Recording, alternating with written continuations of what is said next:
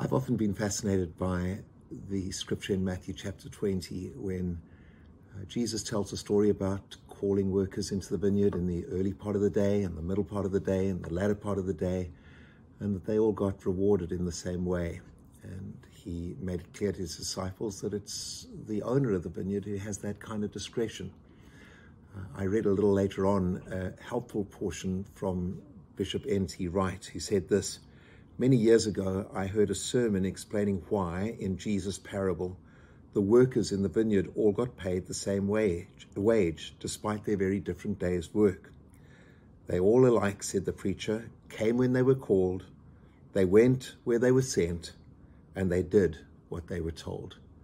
And I really love that thought that all that we do at the end of the day is to go where we sent to do what we're called to do and that the Lord of the harvest is the one who will reward us accordingly. So the lesson today is to be faithful where you're at, to put your hand to what God's called you to do, and know that the Lord sees all things and will reward them appropriately. I pray that you'd be blessed in your Christian service. God bless you.